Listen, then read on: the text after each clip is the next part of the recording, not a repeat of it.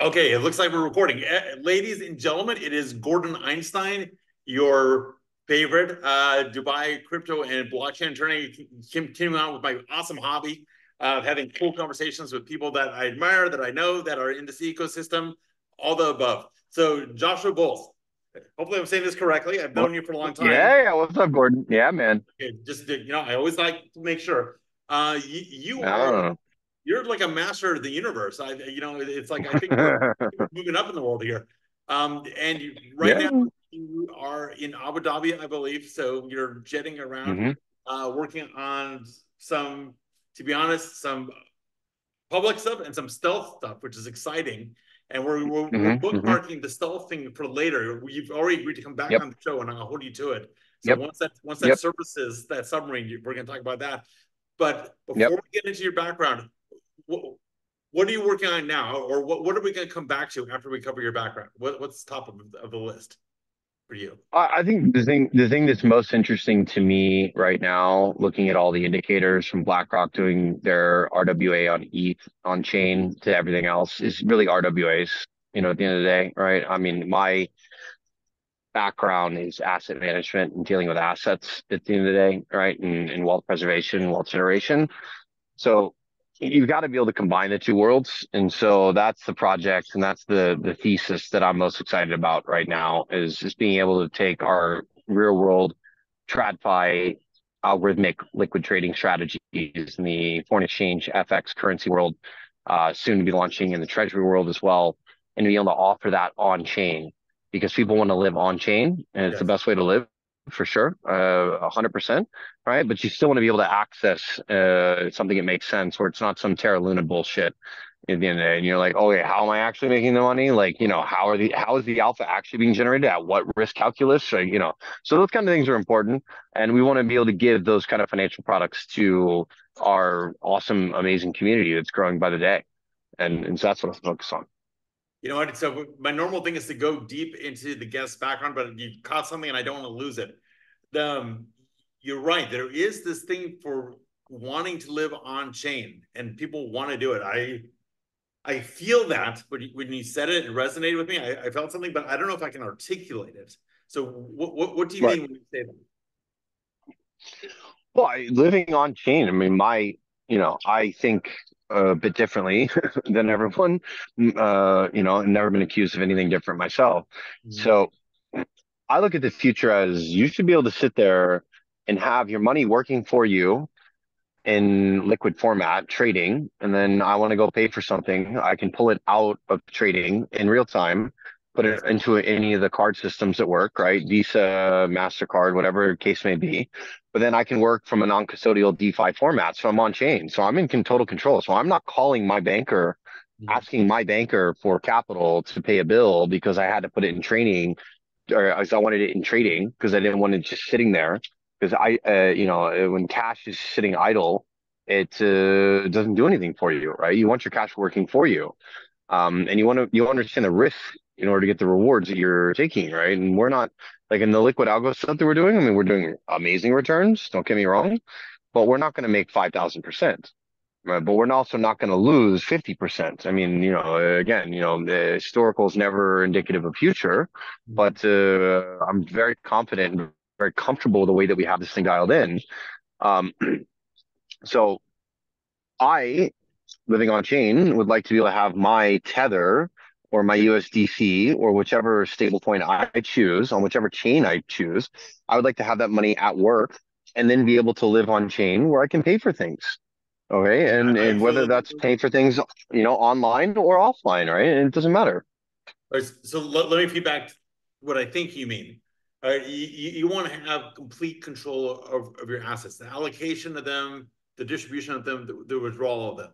And we everything we kind of had a world like that maybe a little bit before, but I, am going to read between the lines a little bit, I think, and say you, you don't want human bureaucracy and discretion and subjective changing rules to get in the middle of that. You want it to be a computational act that's at your fingertips. That's so, right. A, computa- okay. a computation, a computational act is governed by protocol. It's exactly right. Okay. Right? And, and that that because that's pure that's pure. I can trust the protocol because I can trust the the the the, the calculus mathematics behind the protocol itself.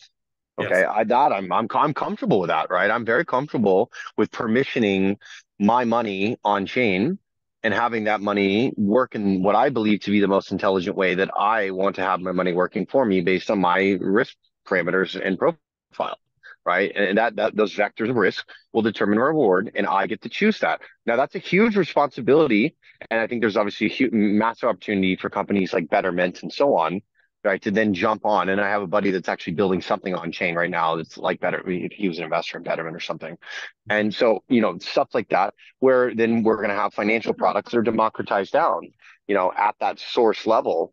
Um, but I want to stay on chain right? I don't want to ever have to like call, you know, my HSBC banker or my FAB banker to get money or to move money or to or to permission my money in in their bank, right? I want to permission my money on chain. I, actually find you know in, in Australia now, I keep on seeing this meme on Instagram. That some guy goes to a bank and he's withdrawing his own money from his own account, and then the tellers are instructed by law to ask, "What are you using the money for?" Now I don't know if this is a meme right. or you know maybe it's an exaggeration because social media is not totally reliable. People people want to exaggerate certain things, but I, I feel like it could be true. I mean, it's it's true enough. It's it's truthy, and I I, I find it a bit insulting that the sure. this, you know that I mean you know it's my money. What, what do you mean? What am I going to use it for? It's like yeah. Is is the Bitcoin has the Bitcoin network ever asked you in in a signature on a transaction to disclose what the hell you're paying, you know, what you're sending Bitcoin for, or what you're sending, te- you know, Tether on OmniLayer or something for, or whatever the case. I mean, come on, you know, like you know, the, the, and, the Prince and, of Bitcoin from Nigeria once sent me an email telling me that I should explain myself and send my Bitcoin to him, but I don't think it was real. You, you you could, you should have. You might have been a very rich man, right? Oh. But I think Gordon, this really hits the nail on the head, and this is one of the major theses of the, you know, more uh, confidential stuff that we're doing here in Abu Dhabi that we'll talk about in the near future, which is sovereignty.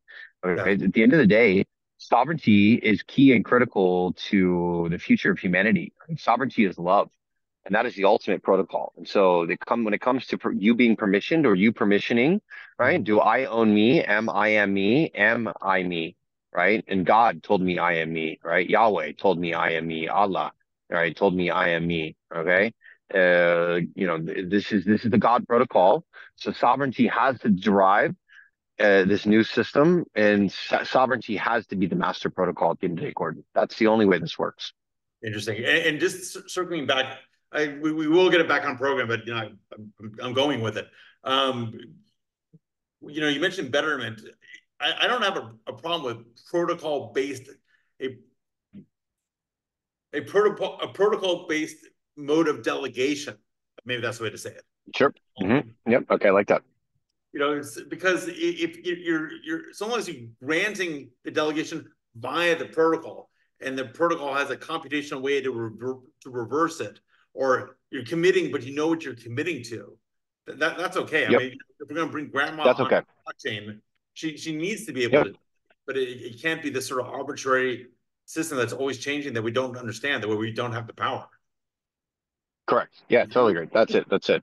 Yeah, that's it. That's it. Power. Yeah, that's it. It's all about the power to the people. Yeah, yeah. I mean, that, this. I mean, look, we're at the end of the day, you and I are Americans, right? America's an idea, right? America is much bigger than a country. America's an idea, and it comes down to the power, man. It comes down to freedom, and freedom is sovereignty. Uh, you know what? I, right? and, I, I, am an Americanist, that, even if America. Say again, one more time. Yeah, yeah, right. No, no, no. I was just saying that's where the trust factor comes in, right? And that, that to your point, I, I think that's that. You know, what the hell am I investing in? How does it work? What are my risks? You know, like no, no hidden bullshit, right? No, no, no, no unseen long tail kurtosis, you know, scenario where I'm going to get black swan because you know some asshole didn't calculate something. I mean, we we run it all the time at the Entrepreneurs Investment Office and Demeter Investment Holdings, uh, our our regulated shops and issuers, and there are a group of companies we we run it all the time. People send us models and they're like, "Oh yeah, no, we ran it, it didn't fail, so on." We ran it. We're like, "Yeah, it failed ninety seven percent of the time." You know, like I don't, I don't know what kind of I don't know what kind of Monte Carlo whatever you're running. Um, right, and so I just I think it's really important that people have access to products that are put together by people, and everyone benefits in the alpha generation of those products. And that's what everybody wants. And and I really truly want to see this shit democratized down to where if a guy gets paid directly to the Careem or Uber app, I say Careem because we're sitting in the GCC, which is my Uber, first uh, unicorn out of the GC. And they get paid by a dollar and they want to immediately take that dollar and set their preferences to go and put it into a, you know, certain allocation, whether it's directly into like our FX algo because they want the high yields or a blend or some particular type of indexation product, so to speak, or whatever that's mm-hmm. commercialized in a, in a, structured product format. That's what I want in the future, you know, so that money can literally, and that's the, that's the flu, that's the flow of, uh, of money, right? That's in, in the fluidity of, of money, the fluidity of value. Mm-hmm. Um, is so is so critical, and I feel like we've been choked uh, right now. Um, and we've seen that with the the decrease in M2 money supply, right? For example. And, and these things, know, these things are really critical to the to the to the old system. The old system is crumbling as we see it, and the new system, you know, needs to come online and needs to be built, and and it has to be governed and powered by sovereignty. And I just I think that is absolutely critical. At the end of the day, we cannot have a government and we cannot have some overlord telling us that we are me. That doesn't make sense. No, I tell them I am me. You're that you're getting really ontological here. You're you're saying that identity is not derived from the external sovereign, the Leviathan. Correct. Right. No, no, no, no, no, no, exactly right. No, identity is derived from ourselves, right? This is Yahweh's protocol. This is God's protocol. Okay, I, I, I, you know what? Let me go take some ayahuasca. I'll come right back to you. uh, okay, you know, sorry for the for the Sorry, next that, next download. You got it. Next download. Okay. good, it's good. a family show. Okay, Josh, I always like to do this. Where were you born? Where are you from? Born in Arlington, Virginia, raised outside of Washington, D.C., Great Falls, McLean uh, area, Langley, um, not too far from where you were in Falls Church, actually, Gordon. Yep. So, you know, the whole, the hometown Nova, Nova love. Um, spent most of my life there, bit of New York on and off for six, seven years, uh, West Palm Beach, Miami, and then came over to Abu Dhabi about six years ago and really just fell in love with this part of the world and the vibes and you know, just the forward thinking and the way that you can get things coming from DC, growing up around regulators, a lot of my friends that run the government, sure. and seeing all of the government and you know, and it's and it's in all of its capacities, honestly. And then coming over here and seeing the way that Abu Dhabi can move if you have something that's special, something that's interesting, um, and it fits within their values and their ethics and their integrity. Whew, amazing. And so that's why I've uh, called you know, here between here and Switzerland home uh, the past uh, six years, more or less. You you are wow. There's a lot to unpack there. The it's funny. I, I, I, I don't know if we ever talked about this, but I'm I'm building a triangle in my life between Dubai, Switzerland, and when things come down to Ukraine, and here you are doing the Dubai Switzerland. I mean, not the Dubai, the UAE Switzerland transit. So, mm-hmm. yep. Good, good job. It's an easy transit. It's, it's very it's very nice. I mean, look, the, the one thing that I've noticed about both countries, or both countries are very sovereign. You're you're left alone, you know, to your own devices. Just don't hurt other people. Don't lie. Don't cheat. Don't steal. All right. These are all the things that we should all operate by, honestly, anyways. And you just see it. There's there's no crime. There's no there's no threat in the UAE. Very little in Switzerland. Uh, you can kind of do what you want with your chalet or your villa or whatever, and you're all good. And you know, just enjoy your life, right? And and um, you know, and do something special with it. Uh, I'll, I'll see your comment and I'll raise it, which is when you pull back the curtains, they're both whether they have in the title or not, they're both confederations. Okay, the, the Switzerland's a formal yep. confederation, and the cantons are extremely. Yeah, there's four, you have this locality. That's right. There's four. There's there's 40, 48 cantons in Switzerland, and there's seven emirates in the UAE. You're right. Yeah, yeah. yeah. So it's it's, it's actually it's actually like cantons. Yeah, very and very sovereign exactly right? You know and that's and that's why it works because you can you can have your own identity you can be your own person you can say i am me no problem and no one's sitting there knocking on your door trying to tell you that you know you're lgbtq or whatever the you know whatever's going on i mean you know? Yeah but, but by the way I, I identify as someone who, who doesn't identify as anything anyone else tells me. Um so yeah yeah i'm, I'm still figuring that one out yeah I'm just kidding. Right? Okay, so let's, let's keep on the history a little bit. Did, did you study somewhere? Did you go to school? Are you self-taught? Yeah, I went to American. I went to I went to American Military University. Okay. Uh, so I special I, I specialized uh, in um, more around re- religion and history. uh, studies, so it was actually very good. A lot of philosophy as well. Mm-hmm. Uh, so it was really good. You know, uh, very eye opening. Um, and then I've been exposed to finance my whole life, so really kind of self taught. Had a lot of mentors most of my life uh, that taught me finance, uh, the legal side. You know, kind of guys like you from a legal background. You know, working with like groups like Dentons, you know, and KL Gates and, and DLA Piper and so on. You know, got exposure to that very early um, big four, big accounting, big big actually was big eight. You, you as a client, as mentors, or you, or you work there. Mo- mo- mostly no, mostly mentors, uh, and then I would work with them on deals, or I would work with them as I'm working from a family office standpoint. Uh, mm-hmm. so I would then engage with the law firms, and I would get to learn as I'm putting deal structures together with the families.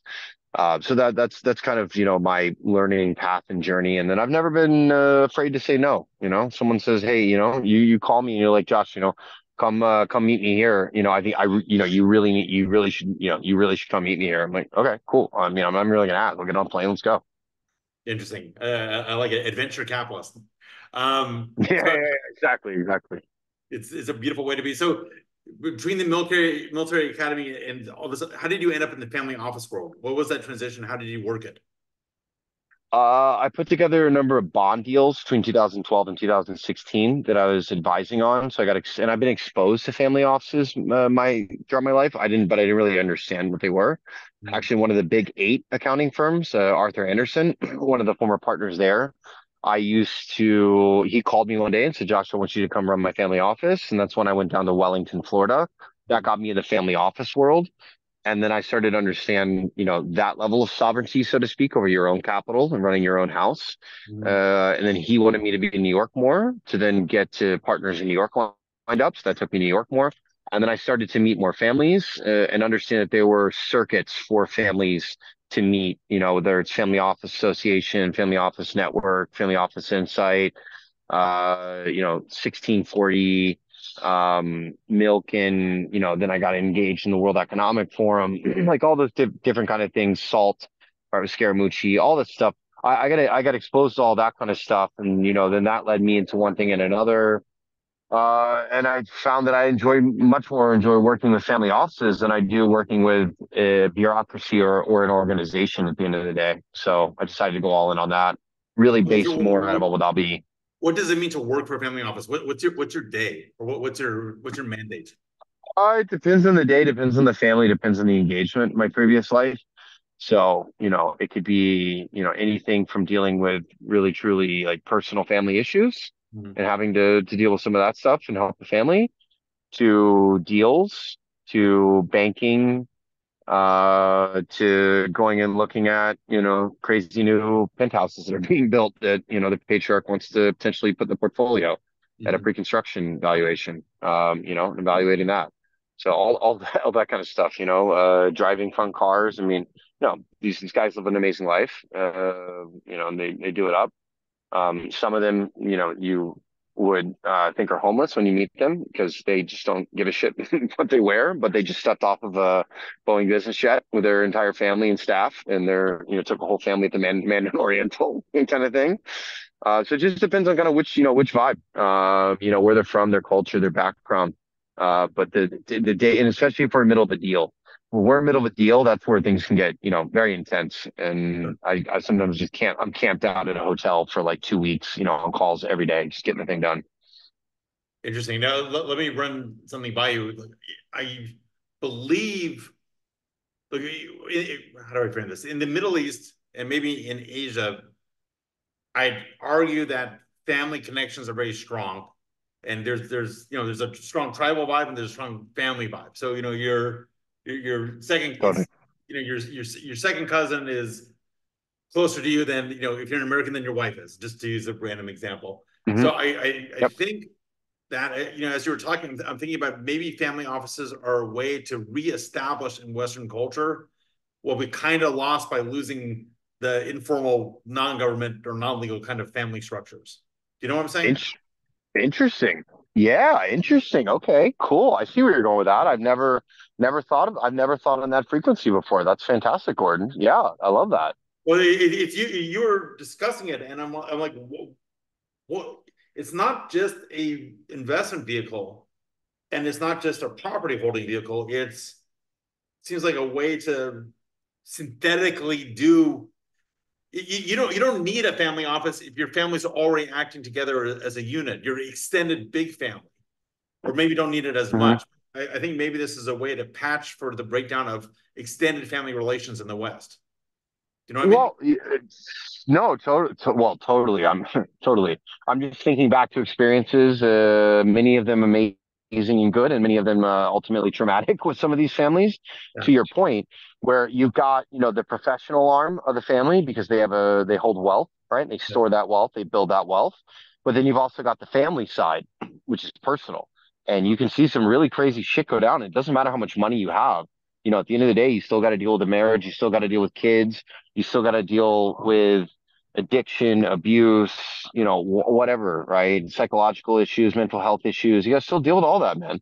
Um, and and I've seen, and then I've seen families, you know, in my time now, I've even seen families go down because they lost their values, they lost their faculties, you know, they lost their ethics, uh, they lost what was driving them and, and that, you know, and that's really, really critical at the end of the day. And that's why, you know, second generation, 20% of the families lose their wealth.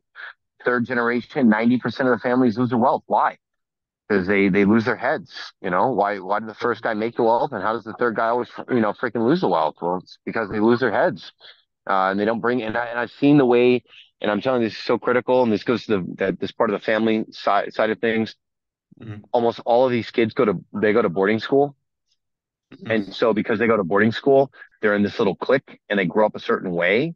And so they have a different relationship overall with their parents.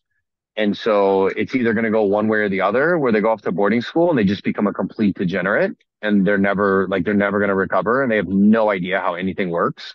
Right. And their trust fund has never been cut off to those that actually do real shit, which is a small number of them.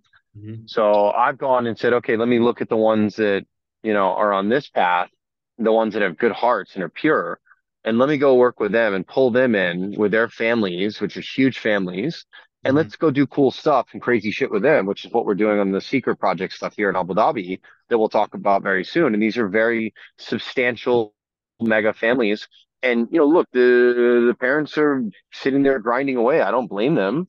Uh you know but the kids are now in their 30s and it's like yo like you know you got to do something. Like what do you want to do? And they're like i don't really know. I'm not not really sure how to do much you know at this point. Like you know went to boarding school and super well educated but i haven't really like done much in the real world. I've gone to like you know a few meetings with you dad you know here and there right? You know met met met our met our lawyers a few times met our trustees a few times kind of thing but don't really understand it um, because it's very specialized uh, in particular. Um, and then when it comes down to that, you know, to, it's a lot of, um, uh, responsibility that you bear, you know, when you're taking over the mantle. And I have uh, one of the families right now that I work with, this one of my investors. Uh, the father is going through something and the son is taking over and the son's ready to take over because the dad ready. kicked him to Wall Street. Yeah, ready because the dad kicked him to Wall Street and he was like, get out of here you little whippersnapper, right? American based family, and now living here. Uh, his son is living in Dubai, mm-hmm. and he's like, "Get the hell out of here! Go learn, you know, uh, go grind out, you know, and you're only and you're not going to go live large in, in New York." And he didn't, and he had to, you know, work his way, and he did. Uh, and the kid's ready, you know, and then we're going to do amazing stuff together with this guy and this family, and they're a very him. substantial yeah, good, family. Good for the dad good for the father because you know now he's second generation the son taking over the father created the wealth and he's created a substantial amount of wealth i mean this is you know this is no joke this is very substantial um, but that's a rare case because most of the other times it then gets turned over to the trustees and so on and it turns into this whole nightmare and battle and you know more you know you know more about yeah, that than anybody being the, the lawyer that you are i'm thinking you know i used to do estate planning back in los angeles before I stopped practicing law, and this is before I restarted with crypto. And you know, these these families are all messed up, and and I, I think the kids or grandkids don't talk to the parents. They're into drugs. They they, yep. you know, they decide yep. to do porn films, and or, or they become yep. socialist as, some kind of way of establishing their independence. Exactly, you know, like, dude. Yeah, yeah, yeah. Fuck the system. Exactly. You know, you know, which is a way to value. You know, they can't achieve what Grandpa achieved, so they devalue what he achieved. Uh, you know, and they right you know they get a little bit of validation in doing it. But you know, but, but. But I, I, see that you know maybe, I see that less in the Gulf. I, th- I think between Islam and the strong family connections and the need, the fact that your community is watching you. You know, we're not just you know they're, they're less atomic here. I, I, think there's more pressure on the generations to at least maintain appearances, and often, 100. I've been I've been pleasantly surprised at how sharp and aggressive they are. I'm like, you you have oil money and, and oh, you're yeah. This hard. Okay, that's interesting. Oh, dude, yeah, dude. A lot of a, a lot of the homies in the GCC are American or UK educated. No joke. Uh, the third generation's now generally taking over a lot. Some of it's second. Over a trillion dollars is now being passed down right? And the majority of GCC businesses are family owned, family run businesses. Mm. And you know, look, the next generation coming up, these guys are sharp, man. Right. And it's like uh like you know, we like to call Saudi Arabia the the Texas of the GCC. I mean, go to Saudi, man. They're as Texas Habibi as you get, right? It's fantastic. Yeah. Um, and every country, every country's got its own vibe. It's super cool, but uh, you know, super smart people, and uh, you know, very motivated. Um, I just had a, I just had a call earlier today with one of my partners here in Abu Dhabi, and they're regulated, and we're going to be taking our security tokens uh, so we can offer that on-chain access to the liquid TradFi off-chain returns, mm. and we're going to be doing that fiat to crypto component with them amongst other elements. And you know, just talking with them, and I was like, you know, guys, we need to do this so that this is an Abu Dhabi solution because this is an Abu Dhabi play because mm-hmm. we are an Abu Dhabi group. And they were like, yeah, absolutely, let's do it. And they just messaged me, well, actually, we've been on the call. They were like, yo, we're going to come see you this weekend. And, you know, they're backed by the sovereign wealth funds here, you know, big, big, big, solid group. So I'm super excited to see that everyone's now saying, okay, and now what we're going to do is through uh, my liquid investment advisor, uh, entrepreneurs investment office, uh, in our group holding companies, Demeter and so on. We have relationships with all the banks. So we're going to bring the banks in because we already work with them as liquidity providers for the FX world. And we're mm-hmm. going to bring the banks in, right? So the banks and give them a seat at the table and teach them this game. And we're going to build this new financial system with real world assets, yes. both liquid and illiquid, but starting out with liquid. And the reason we're starting out with liquid, Gordon, is because everybody understands liquid, right? So if I put a million bucks in and last month I would have paid, you know, over 90K on a million bucks return using our FX strategy in Algo at Felix. It's just, you know, it's amazing. I mean, it's just super cool. And we haven't even put our AI engine on this that you're aware of, right? New native. Um, so, you know, the liquid I mean, side is great because everyone. And Pavel check and the rest of them. Thank you. Yeah, yeah, Paul, Paul yeah, yeah, I'll see, yeah, yeah. Paul just got he just got here to see me in Abu Dhabi as well, right? Yeah, yeah, yeah, whole different, yeah, it's a whole different vibe, right? That's all goes into secret project here in Abu Dhabi. Um, but you know the the liquid the liquid piece is super interesting and super cool because you know people just love seeing money on their money. And it's like you know oh this this works right? This is awesome. And and this is all run by my partners who are all former hsbc cantor fitzgerald you know pedigrees up the wazoo. We're triple you know double regulated soon about to be triple regulated fca the fsa soon about to be sec i'm already a finra reg d 506c approved right? Yeah, all that. we're already all I that. just got, i just gotta ask because you said a name that echoes with my past. Cantor Fitzgerald, do, do you have anyone from Hollywood Stock Exchange? You know what I'm talking about? Mm, no, no. Oh, okay, it was a it was a it was a dot com that got spun off from Cantor, and obviously Cantor was was caught in 9-11. But um, but they they they were actually they they were doing a synthetic stock market or option or betting market on. Oh, I saw this. Yes, I saw someone brought me this years ago. Yeah. Oh my gosh. Oh, I remember this now. Yeah, and they were they were related to Cantor. Yeah. Oh, I remember that now. They, they, they, may remember me actually. That's that's funny because uh, I was doing. Okay, just yeah. So, so we're so we're working with all those kind of groups already. I apologize. My alarm is going off, telling me that it's time to remember. Um, so we're working with those kind of groups already, and we're already bringing them in on the FX side. So if I'm able to come and say, here, let's start out with liquid products. We already have our security token holders that are already KYC'd, AML5, blah, blah, all of that across the board. And then we want to then create more liquidity so that this product can trade on various convexity levels mm. as a product that's giving a yield, right? So that future value will then be calculated into the net present value, right, of that financial product itself. And then we're not having any slippage issues because there's liquidity being provided and there's enough for all the players to benefit within that liquid ecosystem. That's what we're building on the liquid side. And then we're putting the illiquid side as well, right? And we're doing that with a group called Republic that you're aware of, which is a very substantial group. Um, and maybe, they've also got the, the audience. What what service does Republic provide? Republic, uh, uh, they provide all kinds. So they've got a full multi-sig wallet that goes multi-chain, mm-hmm. which is very important. Uh, securities on chain in a tokenized format. Uh, they have a crowdfunding and a cap raising engine as well as a broker dealer in the US. They're global.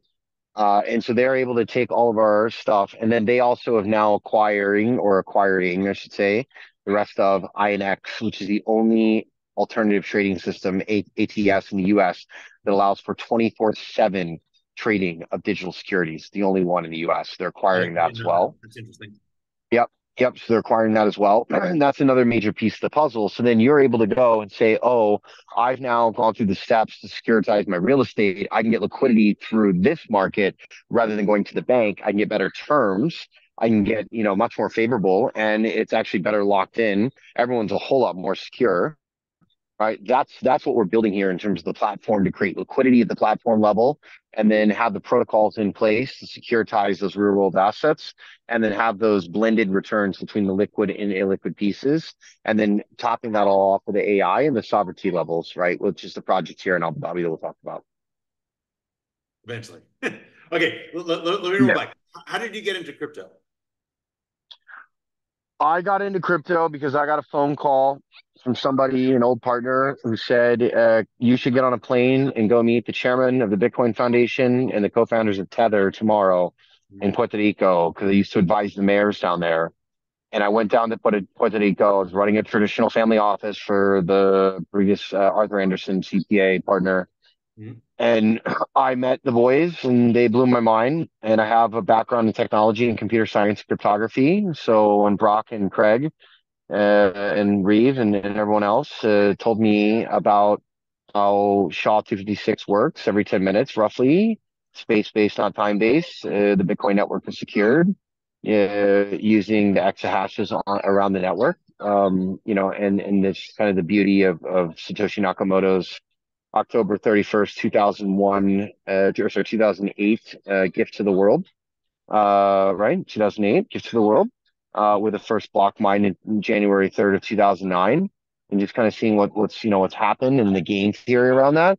And I read the white paper and I, I mean, I'll be honest, dude, I, I still read the white paper all the time. I mean, you know, like I don't claim to understand any of it. Uh, but I read enough of it where it kicked and I was like, okay. But let me ask you, it, it is one of those things that use like the sum of sign and Sigma and everything else. Do you understand that stuff? Yeah, I understand that stuff. Yeah, I have enough of a math background to understand those elements and understand the kind of the, the continuity and the homeostasis and the beauty of the math. You know, and then and and I've never been driven by money. You know, you and I had previously talked about this. It's never I've never been driven by money at all. But I'm I'm just always driven by like the cool stuff, right? And I was always want to be doing cool stuff. So when I saw this is like really cool stuff, I was like, okay, this is amazing. And then, uh, but I did see the financial piece. Let, let, me get this straight because this is this is a great story. Was this? I mean, you're a smart guy in your finance. You obviously heard of Bitcoin before you got that phone call. What was your? Yeah, I had heard. I had heard of Bitcoin. So I had heard of Bitcoin. My buddy Michael Taggart uh, was an investor in something called BitShares, which became yeah, Steemit. Sure. Yep. And so I and I and I got he exposed me to Steemit in 2016. I didn't quite understand what the hell a blockchain was, to be honest. Mm. And so I saw this, you know, Craig Sellars, who's inventor of Tether, technically is the one who technically taught me how blockchain crypto works in the first ICO called Mastercoin, you know, he's an ICO investor in Ethereum. And then once I saw him, you know, and everybody else and Brendan Blumer and the boys at Block One issue their, you know, uh, EOS white paper and raise $4.3 billion in Ethereum and I was sitting there with them, chasing them around, you know, on jets around the world. I never lived like this. I didn't even know anyone did. I was like, what the hell's going on? And I'm doing this and I'm like, and I see it and I was like, okay, you know, this is going to change everything. We're not there yet. It's going to take, there's going to be a lot of fighting and everything.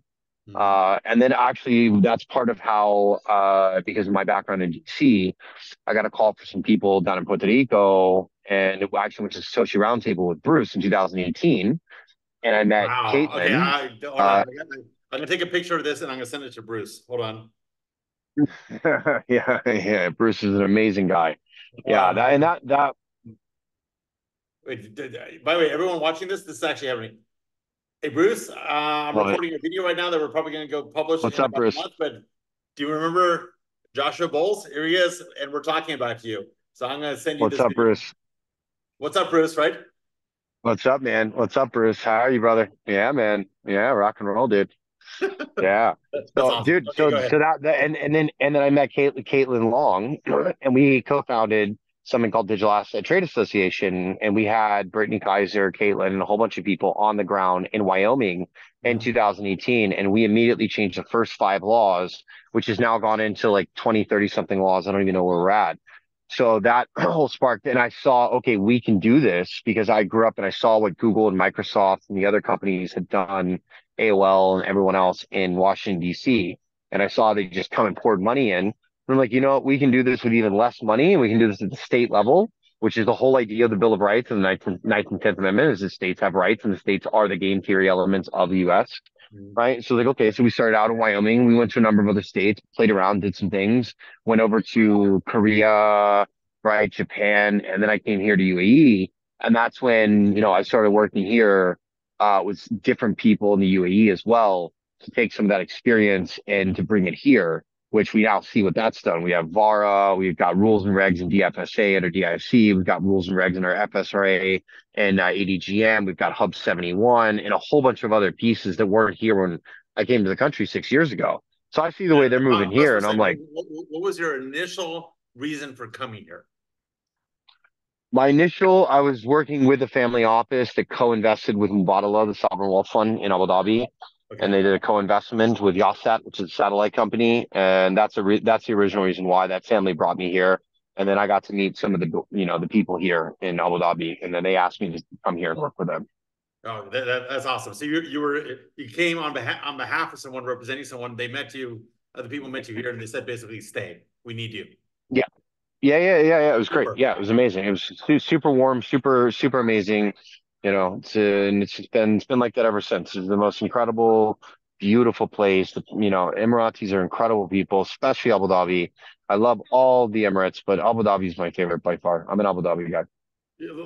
Let's tease that out a little bit. You know, I, I have minimal exposure to Abu Dhabi so far, so I, I can't compare. What, what's most people do, man? Yeah, yeah. Abu Dhabi. Look, Abu Dhabi is much more serious. It's much more chill. Uh, it's not a party city. Uh, people do people do have their fun. Don't get me wrong; it's not as boring as everyone thinks, but it's just a very serious place. Uh, you don't see the kind of Dubai scamming that goes on. Uh, you don't see that here in Abu Dhabi. Uh, it won't last. You won't last more than a few days. Everybody knows who everyone is.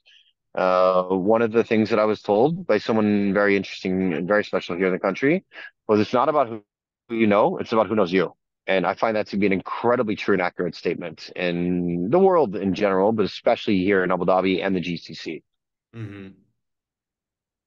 And meaning, who knows you and your reputation? Who knows you, your reputation and your heart? You know, at the end of the day, right? Because there's this. I, I, I, the reason that I love living here, Gordon, is that it's it's real, true love you know, if I really have a problem, I know there are a number of people that I can call mm-hmm. here that are Emirati or that live here that are, you know, either GCC or from anywhere around the world, honestly. But there's a level of love here, right? And I, I never feel alone. I never feel without. That's, that's great. And when, when you first came, did you have a network in place or people who had already come here sort of before you, or did you build it quickly, or what happened? I had a bit of a network in place, uh, but I that's my superpower is is building networks and and kind of you know getting to bonding with people and getting to know people. Mm-hmm. I just love people at the end of the day.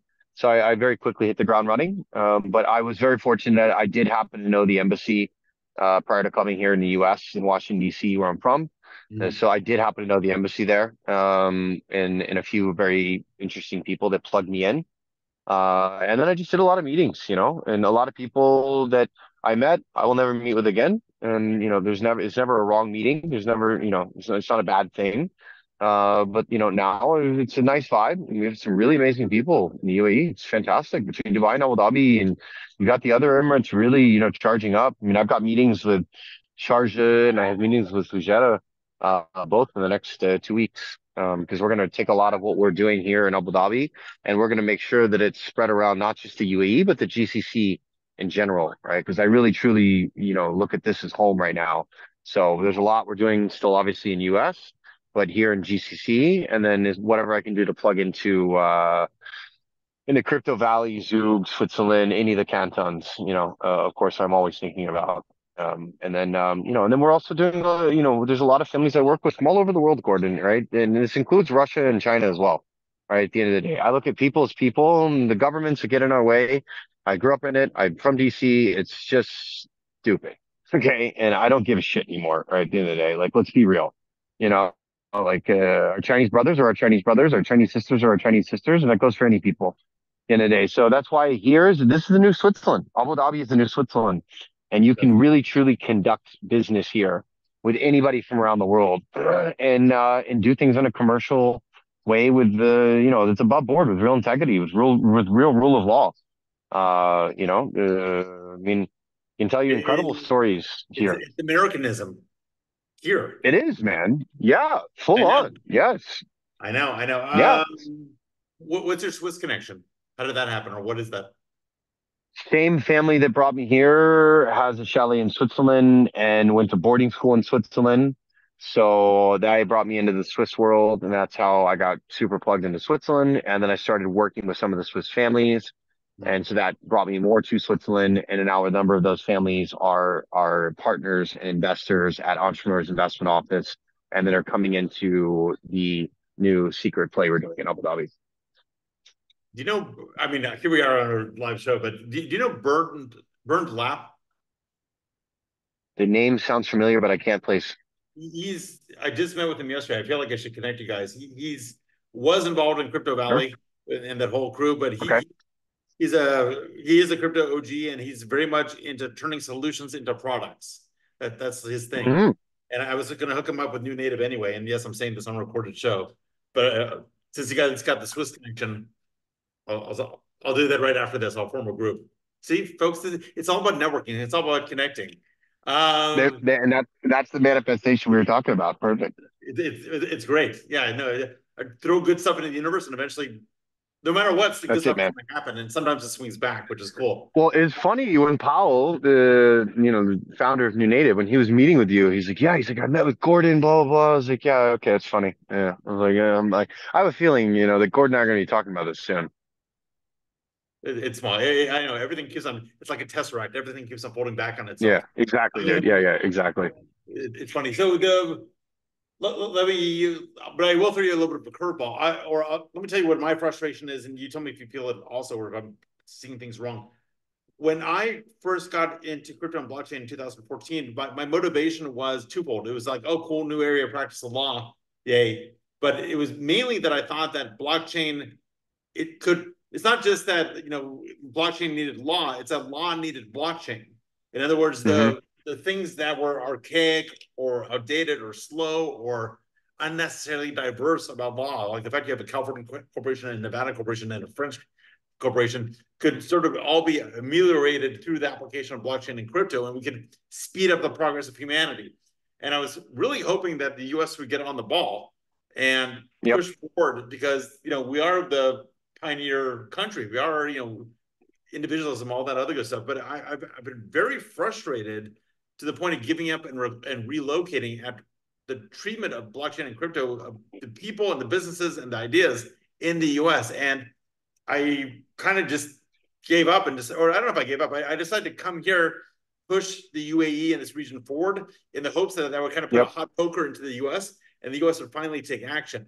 Am I being too dour or what, what, what's your sense? No, I, I feel the same way. Look, this is why I'm here. I can get more done here, even though, bro, even though I have very senior connections in DC and I can move things around, it's so much energy and effort. Whereas yeah. here, I can literally go directly to ADGM and sit in ADGM and have a homie to homie conversation with a regulator with no issues, right? No bullshit. Mm-hmm. Um, you can't do that in the U.S. Uh, so it's it's really it's a damn shame. I used to live across from the SEC. I literally lived on Capitol Hill, right across from the SEC. I literally lived right there uh, on First Street. Mm-hmm. Um, and so Northeast, and I just I don't see any light at the end of the tunnel there, and I don't think the the juice is worth the squeeze whatsoever. Uh, so I think this is the play really, and then you know the U.S. is going to have to catch up. It can adopt whatever, right? But this is the we're pioneering everything here out of the UAE. At the end of the day, you know that's that's it. I mean, you want to come do crypto, and you want to do it in a regulatory framework. You want to have the right sandboxes. You want to be able to plug into ecosystems like DMCC, Crypto Center, that Ahmed has built, which is amazing. There are now over 600 crypto centers, right? I mean, it's just amazing, you know, and to see the reception here, and then to your point, have all that on chain and mm-hmm. have that that trust level, and then be able to put AI on top of that with new native, and you know, all of the all of our partners at OpenAI and Microsoft and Google, and pulling our partners at World Bank and Kingdom of Saudi Arabia and everything else, and all the stuff we've already we're already doing, right? Now that's exciting. That's cool. You know, that's that's that's a new system right? Then on top of that, on top of that, you put some new technologies that I'll go into in our next uh, episode. On top of that, that are like uh, that are like silicon semiconductors and quantum had a baby, right? It's a new technology that was just invented four years ago that we're commercializing. You put that on, and we run our AI on that, which is a thousand times faster and cheaper, right? Then we're talking about a whole different ballgame. Wait, uh, hold on, because you, you yeah, yeah, I haven't told you about this one, dude. Sorry. Yeah, yeah, yeah. faster Sorry. than me, which is amazing because I talk pretty fast. The um, so there, there, there, has been a gap that I am, don't believe it's been solved of bridging quantum and AI. Both getting yeah, we, so, we, we solved we solved it. Yeah, we solved it. Benefits. So yeah, we solved we solved it. Yeah, we solved it. Okay yeah one one of one of one of our family offices has commercialized this new technology um, and we're bringing it to market in the form of sensors to kick things off uh, but it's a full use application so sensors think about when a tesla is driving at night and you have inclement weather so it's already hard to see and the ai makes inac- inaccurate or incorrect decisions because it can't get the information from the sensor itself because a certain sensor has limitations based on the law of thermodynamics and physics right now and because of degradation. So as the as the quality of the signals coming in are degraded, there that that's the gap that exists right now. That's why the accidents happen and that's why AI is limited. So this first sensor we're doing in all these different car applications uh, will d- literally increase the overall visibility and the ability to have sensors come in by a thousand X. So you literally at night can see better and you can have better information coming into the AI than you would have ever had in the old sensors a day when it's as clear as day. Um, I'll, I'll, I'll, say the obvious, though I don't know if I should. The that has super scary military applications. Yes, correct. Yeah, a number of this is going to be some of this is going to be commercial, and some of this will go back to my hometown. Correct. Yeah, hundred percent. Got it. Uh, let me quickly change the topic before I get canceled. The, have you looked at analog computing at all? analog computing no tell me about you know i mean i there's a, vaguely there's a renaissance but in analog computing because of you know the, the the issue you're talking about with digital is you know this sort of zero to one step and back and yep the the inherent lossy nature of it and so, and even if you get even if you get ultimately minute you're not quite minute enough and you can't quite work on a spectrum in, in, the, in the way you can with. I'll, I'll send you a couple of videos. There, there's some. There's a little bit of a niche analog revolution happening, and as you're talking about sensors, I'm thinking that this might be interesting aspect. And it, to my mind, human intelligence is a bit analog, and we're, and we're trying to replicate it in a digital way. And totally. And also, to my mind, quantum is because of the uncertain nature of it. Maybe is a better mimic for analog than digital is in some ways. So just throwing it out there that if you're, look, you're looking at, you know, gathering data for a AI that can really understand non-digital input, analog computing might be an interesting thing to look at. I'll, I'll send you a video. Okay. Yeah, no, that's super interesting. I totally get the, uh, the thinking. Yeah, please. No, that's really cool. Okay. Uh, wow. There's a lot. There's never lot thought, never, never thought we'd be going back to analog, dude. No, you know, I, I saw the title they trying to fool, and then I watched it, and I'm not articulating it fully, but I, I watched the video and I was like, huh, okay, there there is a, an interesting niche case here, and I understand their argument. Cool. So, and you know, with when you start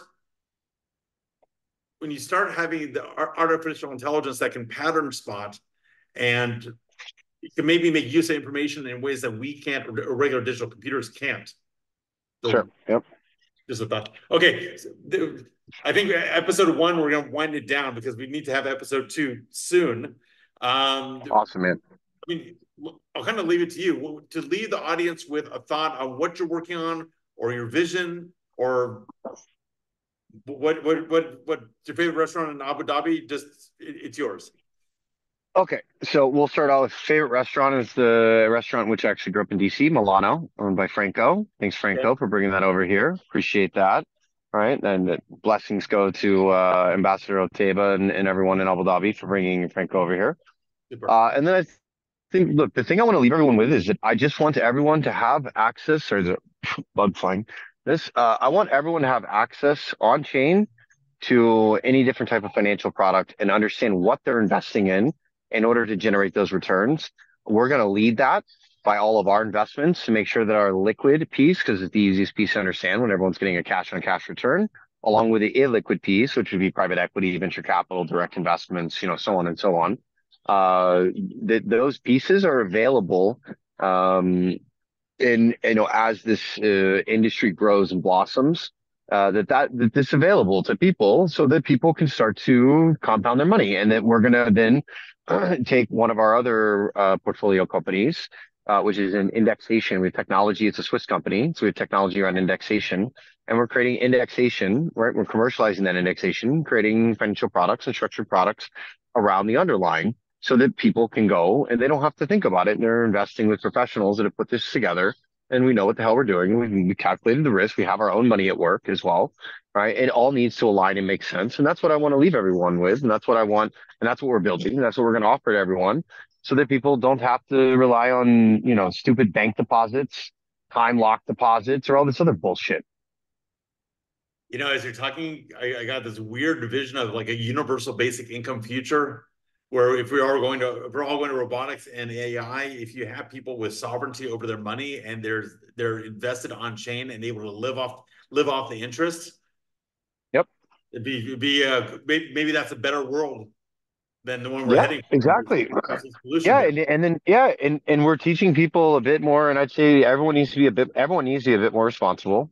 Yes. I'm saying this where I was when I was younger, I was a very irresponsible human being, right? That's why I'm so crazy. Uh, but at the end of the day, you have to be responsible. And responsibility comes over first and foremost your money and your first and foremost your sovereignty. And then your sovereignty will derive down that responsibility to your money and everything else and your assets, right? Across the board. And when you get into crypto, you learn that because you lose those freaking 12 or 24 words, man. And you know, whatever you had in that wallet is gone and ain't no ain't you there's no crying there's no calling there ain't nobody which are why multi-sigs and other you know you know redundancies in place are important. You learn that stuff. More of like an institutional or family office type setup or like you know i've got backup you know scenario. Um, but don't be scared of crypto. I mean this is the future at the end of the day and it gives you power right? But there's yes. responsibility with that. So at the end of the day you know look if you want to get into crypto i'll be very frank about it. You can't be a little bitch you know what? I'm going to leave on that note. Ladies and gentlemen, Josh Walls, don't be a little bitch. Brother, I love it. I'm, I'm All right, amazing, Gordon. But you will come back on the show, okay. yes? Have your commitment? Yeah, bro. 100%. 100%. Yeah, of course, man. Appreciate you. Okay, hold on here.